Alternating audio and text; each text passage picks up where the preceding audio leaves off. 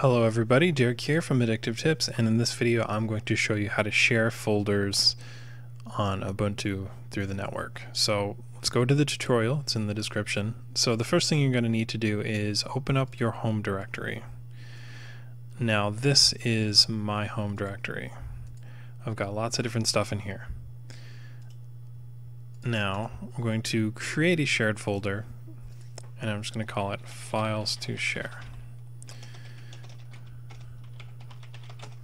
Alright, so I've got that folder created. Let's go back to the tutorial.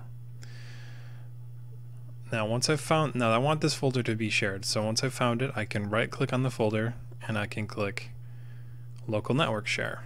Now this is going to open up a thing here, and if you see in the tutorial, it's using the default Ubuntu theme, but I'm still using Ubuntu, but you'll see this little window here, and uh, uh, the reason I'm showing you the tutorial is because it's going to show you sharing service is not installed and you're going to want to install it. Now I already have sharing service installed. I do use this feature sometimes, but uh, just wanted to show you what that looks like. So when you try this on your system, you will need to install that. And if you need help with this, just go to the tutorial and it will show you what to do. Once you've got the sharing service though, you can click share this folder. You can change the share name. I, you know, the folder might be called share to or files to share, but uh, you know, that's not exactly like descriptive enough for some people maybe. So let's go Derek's folder to share, especially if you have multiple shares on your network like I do. It was like random stuff. You can set guest access so that anyone can access it no matter what and allow people to create stuff in the folder and click create share. Now it's going to tell me that it needs to change permissions and I can click add the permissions automatically. Now we see this little icon here. This says that it's shared to the network. So I think I can do it on my own computer here, but if we go to other locations, we can see my desktop now shows up in networks.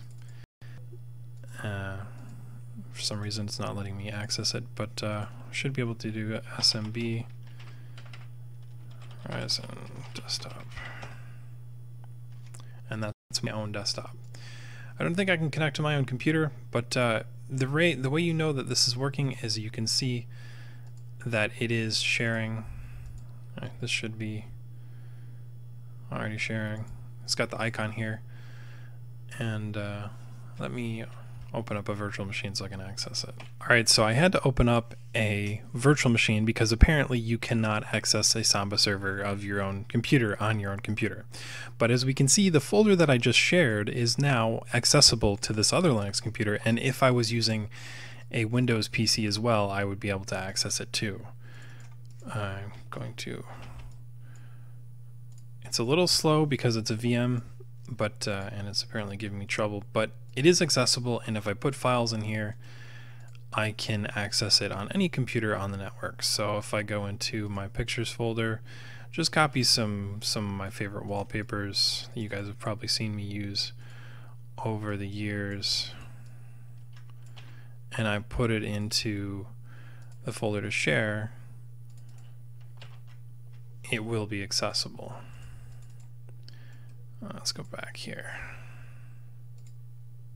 so now as we see, I instantly put it in there and now I can instantly access these files from my folder to share and copy it directly over. And you know, this this other computer, because we set that setting up where you can create folders and files, you can also create a folder from the remote machine. So VM folder, let's just make that. And then if I go back uh, to my file manager and I press F5, it should show up, but it's not showing up. Hmm. I don't know. Maybe, maybe I did something wrong. But yeah, as you can see, these folders are shared between, and uh, that's all that you really need to do. So this is how you can share folders on your local network on Ubuntu. I hope this video was helpful. It's a very useful feature, especially if you don't have a home server or you just want to share some quick stuff with another computer and you don't want to deal with all of those apps and, and stuff like that. It's very useful. I hope you guys enjoyed this video and I will see you in the next one.